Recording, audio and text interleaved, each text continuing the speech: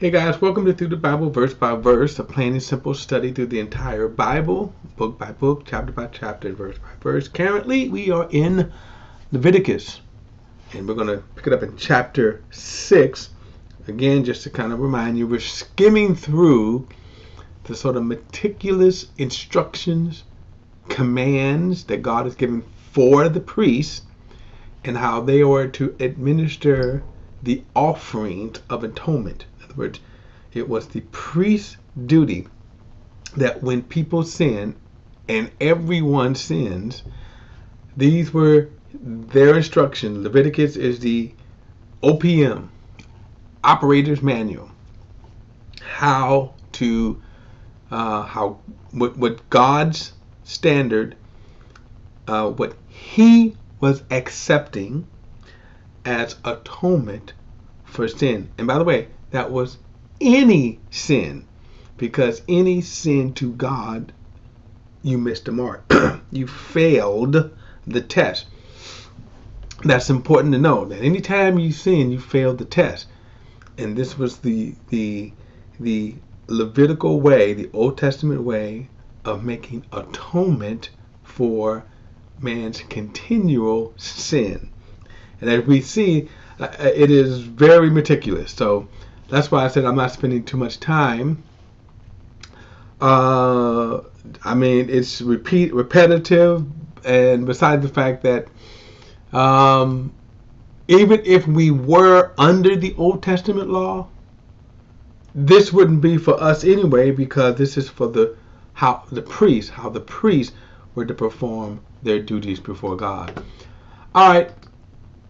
So, chapter 6, he says, The Lord spoke to Moses when someone sins and offends the Lord by deceiving his neighbor in regard to a deposit, a security, or a robbery, or defrauds, defrauds his neighbor, or finds something lost and lies about it, or swears falsely about any of the sinful things a person may do, once he has sinned and acknowledged his guilt, he must return what he stole or defrauded or deposit deposit entrusted to him or the lost item he found or anything else about which he swore falsely he must make full restitution for it and add a fifth of its value to it. He is to pay to the owner on the day he acknowledges his sin. In other words, don't draw it out. Like, anyway, then he must bring a restitution offering to the Lord, an unblemished ram from the flock according to your assessment of its value, and the restitution offering to the priest. In this way, the priest will make atonement for his for his uh, on uh, I'm sorry. In this way, the priest will make atonement on his behalf before the Lord, and he will be forgiven for anything he may have done or incurred guilt. Now, this is interesting because keep this in mind.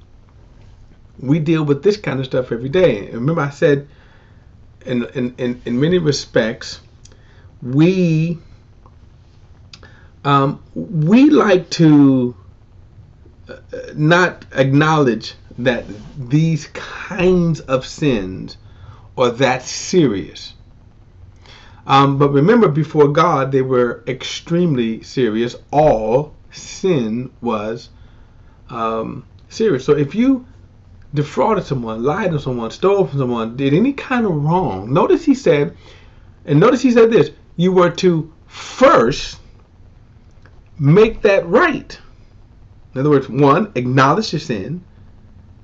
Two, then make restitution, make up for it, return the items or pay. And then he says, with 20%, add 20% interest to that.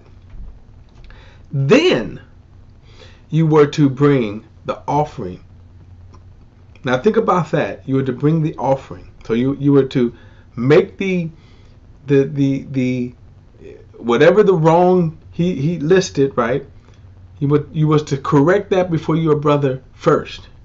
before you made any offering to God. And it kind of sounds like when in, in the fifth chapter, the fifth and sixth and seventh chapter of Matthew, when Jesus said that if you're you see that you you have an ought against your brother, go to your brother first, right, and make it right with him, and then come offer your your your, your offering of worship to God. Verse 8 says, The Lord spoke to Moses, command Aaron and his sons. This is the law of burnt offerings.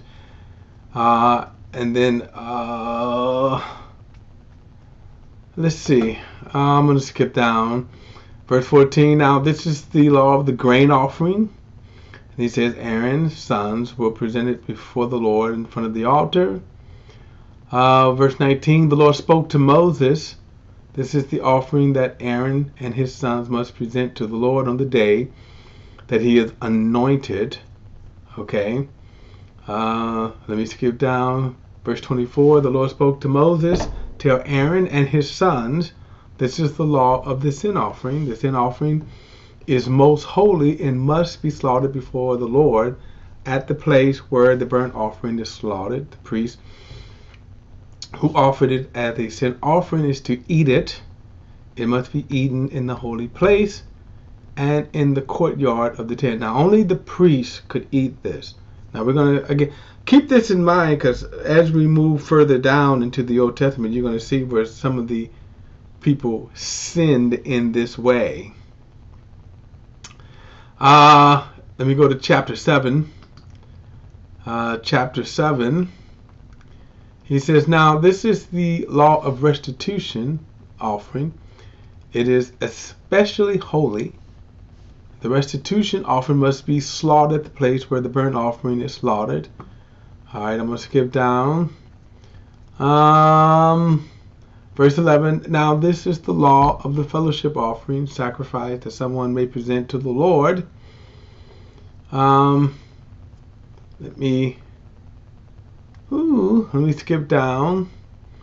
Uh, if the uh, let's say here, if the sacrifice, verse 16, the sacrifice offering, the vow or free will offering, is to be eaten on the day he presents it, his sacrifice, and what is left over will be eaten on the next day. Let me go on. Verse 19: Meat that touches anything unclean must not be un must not be eaten. It is to be burnt up. Let me go down. the Lord spoke to Moses, Tell the Israelites, you are not to eat any fat of an ox, sheep, or goat. The fat of an animal that dies naturally or is mauled by wild beasts may be used for any purpose, but you must not eat it. If anyone eats animal fat from a fire offered presented to the Lord, that person who eats it must be cut off from the people um, wherever you live, you must not eat the blood of any bird or animal. Whoever eats any blood that a person, uh, and that person must be cut off. So uh, I'm going to throw in my little two cents right here. I wonder if this means when you cook your meal raw or rare, as they call it. Anyway, I'm just kind of poking there. But notice he said that you were not supposed to eat blood from animals. Verse 28. The Lord spoke to Moses, Tell the Israelites that the one who presents a fellowship offering, sacrifice to the Lord, must bring an offering to the Lord from his sacrifice. Skip down. Uh, let me go to chapter 8. Um, chapters 8. The Lord spoke to Moses, Take Aaron, his sons with him, the garments, the anointing oil, the bull of the sin offering, the two rams, and the basket of unleavened bread, and assemble the whole community at the entrance of the tent meeting. So Moses did as the Lord commanded him, and the community assembled at the entrance to the tent of the meeting. Moses said to them, This is what the Lord has commanded to be done. The Lord presented Aaron and his sons and washed them with water, sort of a open inauguration, anointing, a setting apart, okay, that their official priesthood ministry. Notice he said he washed them with water. Verse 7 He put the tunic on Aaron, wrapped a sash around him, clothed him with the robe, and put the ephod on him. This was the priestly garment. Remember, there were several chapters about them how they made the priestly gar- garments, especially to be worn when they are ministering at the altar. He said he put the woven band on the ephod around him and fastened it to him. Then he put the breast uh, uh, piece on him at the place and placed the Urim and the Thummim into the breastplate. Now again, it's not much kind of description on the Urim and, and Thummim. It's a little, little two little devices, and we're going to learn later that they would actually seek the counsel of God, sometimes getting kind of answers from this device. Verse 9, he also put the turban on his head and placed a gold medallion and holy diadem on the front of the turban as the Lord had commanded Moses. Then Moses took the anointing oil and anointed the tabernacle and everything in it to consecrate them. He sprinkled some of the oil on the altar seven times, anointing the altar and its utensils and the basins with his stand, and to consecrate them, he poured some of the anointing oil on Aaron's head and anointed and consecrated him. And then Moses presented Aaron's sons, clothed them, clothed them with tunics, wrapped sashes around them, and fastened headbands on them, as the Lord commanded them. Now, the anointing we're going to see will be a practice prophets would use when God would call and choose a king. They would pour oil on the head. Also, somebody into the office of the prophet. Okay, and we'll see that later. The prophets would be the kind of the spiritual advisors, giving the word and counsel of God. Verse 14. Then he brought a bull near for the sin offering, and Aaron and his sons laid their hands on the head of the bull and on the sin offering. Then Moses slaughtered it, took the blood, and applied it with his finger on the horns of the altar and on all sides, purifying the offerings. He poured out the blood at the base of the altar and consecrated it so that the atonement can be made on it. This is sort of the official kind of inauguration of the the actual priest duties. I'm going to skip down. Uh, because the same thing happened in all of these kind of commandments and things that they did. Oh, let's see here. Um, let's see. Verse 28 Then Moses took from them from their hands and burned them on the altar. Uh, this was the ordination offering for a pleasing aroma, a fire offering to the Lord. Um, now we're going to come back to this. That's why I'm kind of mentioning this because Aaron's sons are going to mess up and it's going to cost their lives when they when they don't do it this way. Uh let's see. 31 Moses said to Aaron his sons, boil the meat at the entrance of the ten, tent of the meeting and eat it there with the bread in its baskets for the ordination of the offering as I command. Aaron and his sons are to eat it. So no one else was to eat that. Okay. Um, let me go to chapter nine.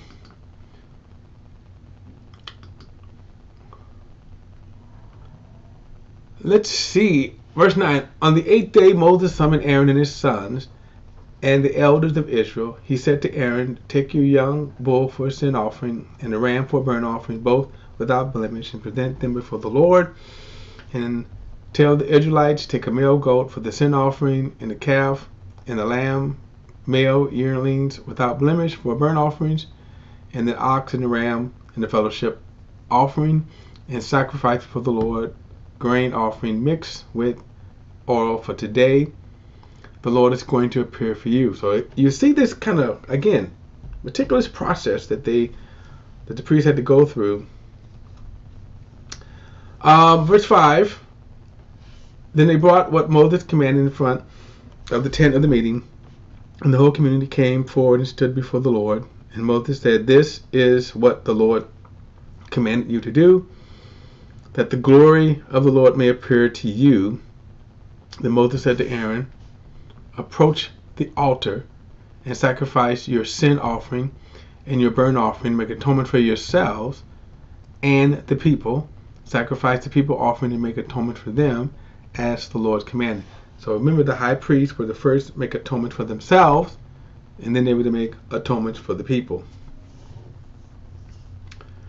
So Aaron approached the altar and slaughtered it and slaughtered the calf at the sin offering for himself. Aaron's sons brought the blood to him, and he dipped his finger in the blood and applied it to the horns of the altar. Uh, he, he poured out the blood at the base of the altar. He burned the fat, the kidneys, and the fatty lobe, and the liver, and the sin offering, offering on the altar as the Lord had commanded. He burnt it up. Let me skip down. Uh, it says then. Uh, this is um. Ooh, let me go back. Let's see, verse twenty-two. Um, Aaron lifted up his hand towards the people and blessed them. He came down. Uh, he came down after the sacrificing the sin offering, the burnt offering, and the fellowship offering. Moses and Aaron then entered the tent of meetings. And when they came out, they blessed the people, and the glory of the Lord appeared to all of the people. Fire came from the Lord and consumed the burnt offering and the fat portions on the altar. And when all the people saw it, they shouted and fell face down toward the ground. Uh, let's see here. Um, let me read this. now, Aaron's sons, Nadab and Abihu, and Abihu, each took his own fire pan. And this is another example, right? So this is kind of this, that that inauguration was done. And it says they put fire in it, placed incense on it, and presented unauthorized fire before the Lord, which he had not commanded them to do. Then fire came from the Lord and burned them to death before the Lord. So Moses said to Aaron, This is what the Lord meant when he said, I will show my holiness to those who are near me, and I will reveal my glory before all the people. But Aaron remained silent. Now, um, Moses summoned uh, Mishael and, and Elephaz, sons of Aaron's uncle, Uzziah, um, Ezekiel, and said to them, Come here and carry your relatives away and from in front of the sanctuary and place them outside the camp. So they came forward and carried them in their tunics outside the camp, as Moses said. Then Moses said to Aaron and his sons Eleazar and Ithamar, uh, it, it, uh, do not let your hair hang loose, and do not tear your garments, or else you will die. Meaning grief. This is the whole the idea of grief. Don't grieve. And the Lord will become angry with the whole community. However, your brothers, the whole house of Israel, may mourn over that tragedy when the Lord sent the fire. You must you must not go outside the entry of the tent of the meeting, or you will die. For the Lord's anointing oil is on you. So they did as the Lord said.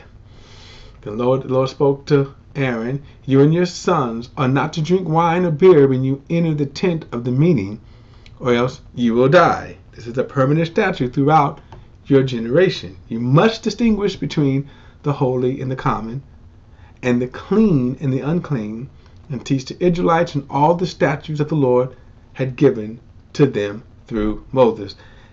Now, some people seem to think that this is one of the reasons why uh, they died, that they got a little tipsy and they started fooling around on the altar, you also see a clear distinction of what the definition of holy and unholy is. In other words, when you come to God, you are to always come to God in a holy way. You are not to treat him common.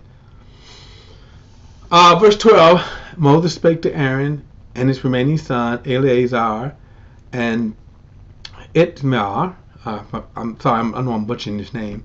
Take the grain offering that is left over from the fire offering to the Lord, and eat it and, and, and eat it prepared without yeast beside the altar, because it is especially holy. You must eat it. Um, you must um, you must eat it in a holy place because it is your portion, and you, your sons, uh, from the fire offerings to the Lord. For this is what I commanded you. But you and your sons and your daughters may eat the breast of the pre- uh, presentation offering uh, and the thigh of the contributions in any ceremonial clean place because these portions have been assigned to you and your children from the Israelites and the fellowship offerings. They are to bring the thigh and the contribution breast offerings and present them together with the offerings and the portion of the fire to wave at the presentation offering for the Lord. It will uh, belong permanently to you, your children, and to the Lord. Later, Moses inquired about the male goat and the sin offering, but it had already been burnt up. He was angry with Eleazar, Ithamar, Aaron's surviving sons, and asked, Why didn't you eat the sin offering uh, in the sanctuary, for it is especially holy, and he has assigned it to you to take away the guilt of the community and to make atonement for them before the Lord. Since it is blood and was not brought inside the sanctuary, you should have eaten it in the sanctuary as I commanded you. But Aaron replied to Moses, See, today they presented the sin offering and their burnt offering before the Lord, since these things have happened to me if I had eaten the sin offering today, would it not have been acceptable in the Lord's sight? Moses heard it, it was acceptable to him. Now, um, so kind of this God, you're going to see from time to time, God would make these points to them that they are to always treat the Lord's offering holy, the things of God holy. Okay? All right, guys. We'll pick it up in chapter 11 in the next study.